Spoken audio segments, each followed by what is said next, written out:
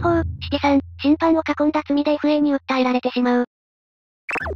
規制と規律の最新情報マンチェスターしては、2023年12月3日日に行われたプレミアリーグのトッテナムホットスパー戦で選手たちが試合役員を取り囲んだとして、FA 規則 E20.1 違反の罪で起訴された。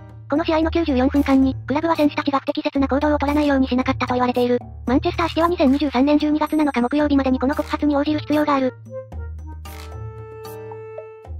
116件目の事件だ。審判は明らかな誤審をしたのに、私たちが罰を受けるのか？何度も見直したが、プレーを止める理由が一つも見つからない。レフェリーも告発されるべきだ。またもや無能な審判を保護し、来週も試合に出場させる。23-24シーズンは、マッチオフィシャルに関して最も物議を醸したシーズンとして間違いなく語り継がれるだろう。